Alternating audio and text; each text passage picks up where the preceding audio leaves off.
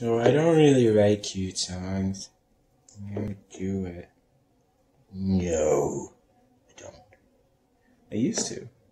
I used to freestyle a lot of sweet songs, but I'm just gonna cover my face because it's embarrassing. So, we'll see how it goes. Hopefully well, but it's not gonna be all like in your face, man, like my songs normally are. So, be prepared for that.